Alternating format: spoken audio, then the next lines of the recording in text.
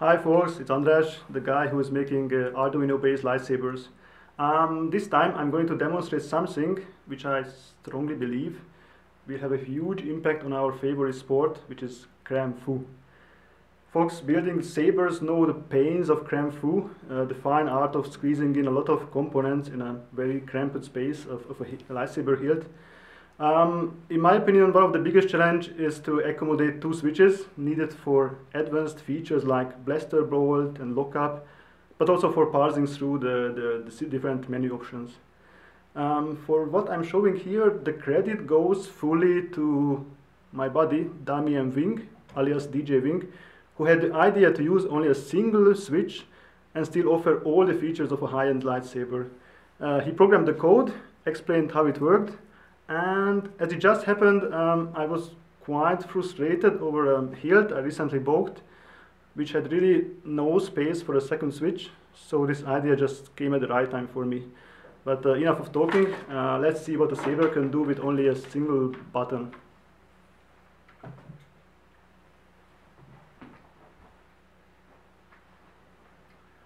So this is the hilt I'm talking about. Um, it's still not completed. You can see some components dangling out, but it's fully functional. Um, as you can see, this has only a single switch. So I will pull the kill key. It's an illuminated um, momentary switch. Uh, inside the blade, uh, it's, um, there's um, NeoPixel. It's a NeoPixel blade with the NeoPixel strings. It's still not fully completed, so it has only um, one single strings. You will see that um, on one side of the blade the light is a, bit less bright than on the other side. Anyway, and this um, saber has also an, um, a DIYino board inside. So um, let's see what we can do with a single button. So for sure we can switch it on.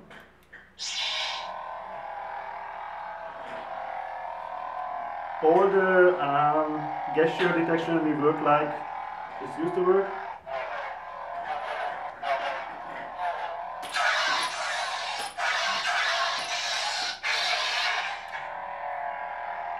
Come the really interesting features. Um, for blade lockup, you have to press the button one single time. You can see it starts to blink. This is a kind of visual feedback that uh, something special is happening. And the next clash, the lockup will be engaged. And the lockup will basically continue until you press the button again when it comes, when it simply goes back to, to hum. Um, if you press the button two times, okay, it needs some exercise, but if you press the button two times, it's a double click.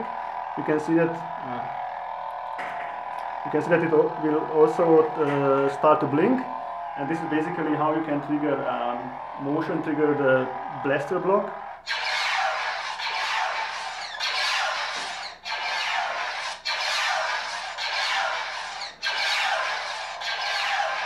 So instead of the swing recognition, it will play uh, the, the FX and the sound of the um, um, blaster block.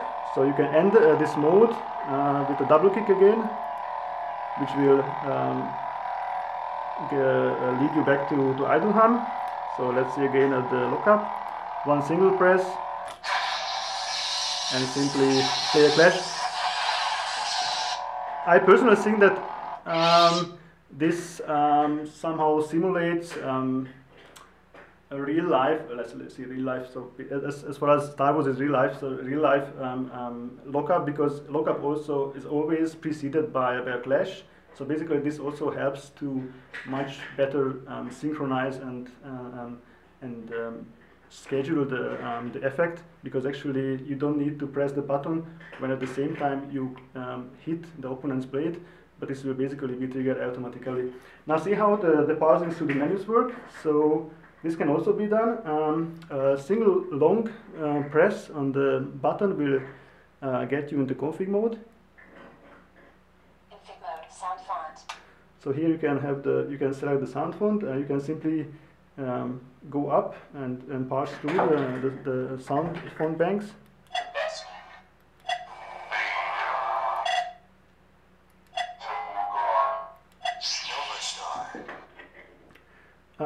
If you press the button two times, it's a so-called double click, Volume.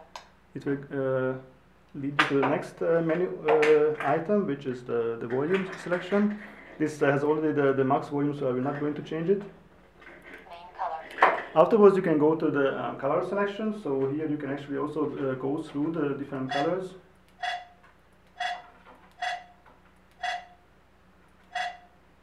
Clash color.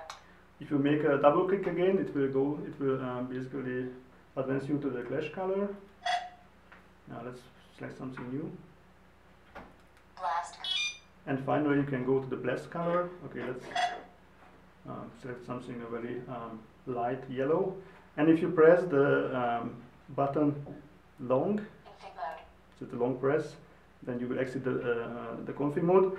Um, actually, when I first thought about the single button mode, I saw that um, at least some of the features I have to um, forfeit, but it's not true. Even the the Jukebox uh, um, was implemented uh, by Damien Wing.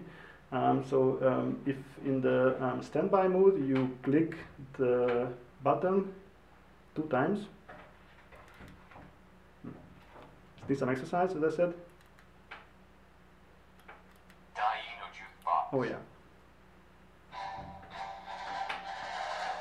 Then it goes into the MP3 player mode where you can basically um, stop the sound, restart it again, or if you press the button long, then it will uh, move you to the next so- song.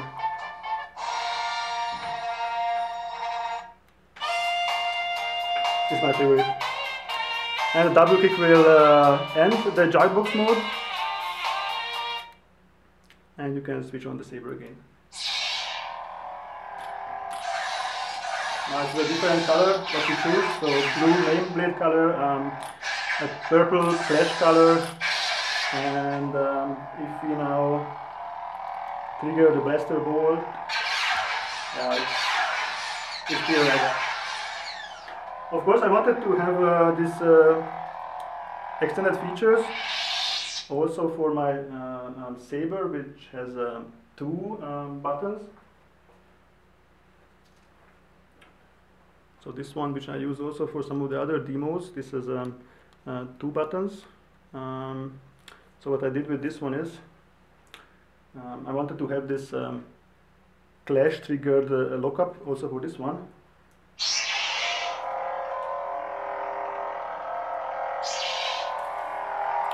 So if I press the button once on this saber with a single button, you can see it starts to blink, which says uh, that it's ready to receive a clash and uh, trigger um, um, lockup. You can do the same uh, with the main button on, on this saber. And if I hit them,